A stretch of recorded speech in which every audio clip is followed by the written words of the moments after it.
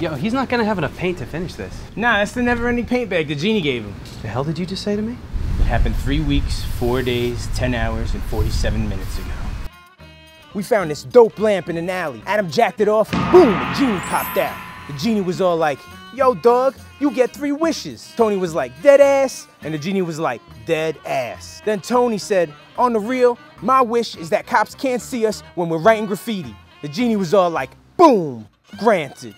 Adam muscled his way in like a little monkey maniac and was all like, I wish for a bag that never runs out of spray paint, son. The genie was like, bam, dunzo. Now look at him. And check the oblivious cop. It's incredible that you guys wasted wishes on graffiti. Morons! Wait, what did you wish for? Little, little me?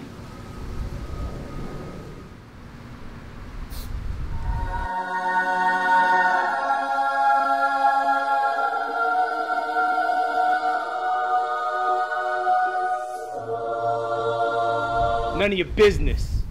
The hell did you just say to me?